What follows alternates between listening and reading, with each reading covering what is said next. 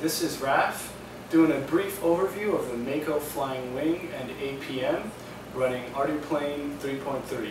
Been having a lot of fun with this wing and excited to show you guys what it's all about. Let's take a look.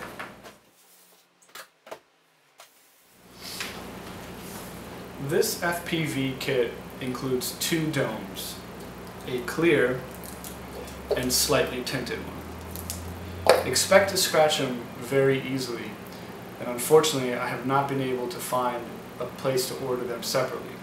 So I would highly suggest keeping this plastic on for your maiden flights. One of my favorite things about this wing is how easy it assembles. One word of caution, these retention clips. They use self-tapping screws, so my only concern is how many times they'll actually be usable before they break.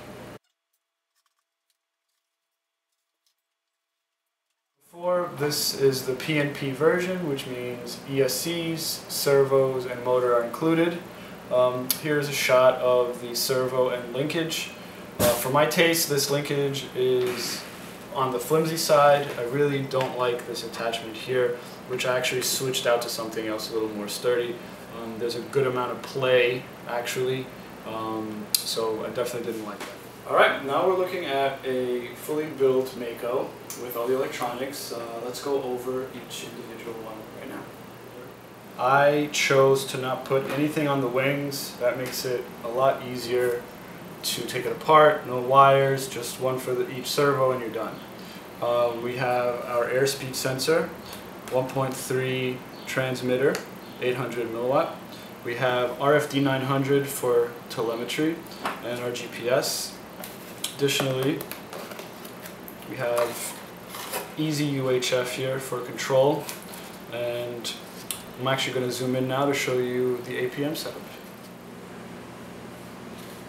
Taking a peek inside, first we look at the APM which we mounted as far back as possible which gave us the most flexibility for different types of batteries.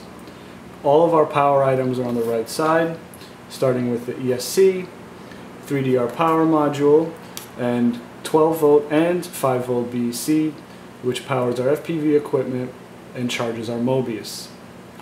Here is our airspeed sensor. Tucked underneath is the MinimOSD and I've added a strobe light for night flying. Also, we had some issues with video noise, so we added an LC filter here and also a ferrite ring from the lead coming out of the ESC into the APM. This cleared up all of our issues. For the camera setup, I chose a Mobius for HD recording and a security cam for FPV. Why two cameras? Well, I'm just not a fan of flying through the Mobius live feed. Also, when mounting your camera, put it as close to the dome as possible to avoid glare. So I mentioned before I wasn't terribly happy with the control linkage so I actually swapped them out for something a little beefier with a nice little rubber band. No more play here at all. The last few items we want to go over are the motor and prop combination and batteries. This kit comes with a 2200 kV motor and a 6x4 prop. Additionally, I tried a 6x45 prop which gave a slight increase in speed and amp usage but a negligible amount. I've also been flying these 22 and 2100 three cell batteries, giving me about 13 to 15 minutes, and a 2600 three cell battery, which is giving me about 18 to 20 minutes depending on wind. So let's go outside and see what this thing's about.